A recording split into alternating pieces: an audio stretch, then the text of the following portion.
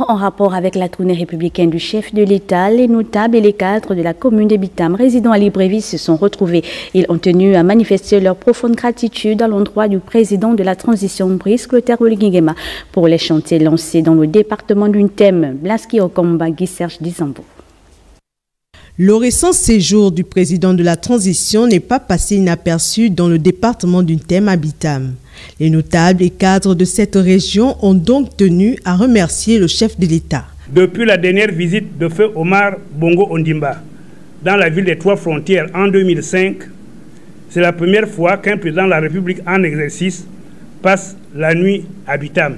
Dans notre culture, un tel geste est avant tout perçu comme une profonde marque d'estime et de considération. L'annonce de la construction d'une cité administrative multifonctionnelle, l'appel à l'unité et au rassemblement des filles et fils de Bitam, des points évoqués par le président de la République qui trouve l'assentiment de la population. S'agissant en premier lieu de la cité administrative multifonctionnelle, cet important complexe comprendra notamment un héliport, un hôpital militaire, une caserne de gendarmerie. En ce qui concerne l'appel à l'unité et au rassemblement lancé par le président Oligingema aux filles et aux fils de Bitam, nous y répondons par un oui franc et massif. Dix mois après le coup de la libération, le pays est en chantier, un état de fait que les Gabonais apprécient fortement.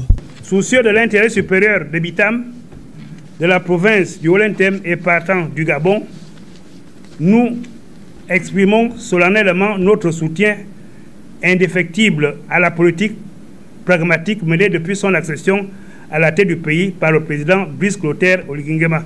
Akiba, monsieur le président Oligingema, honneur-moi en âme, honneur femme, honneur et fidélité à la patrie, c'est enfin notre essor vers la félicité.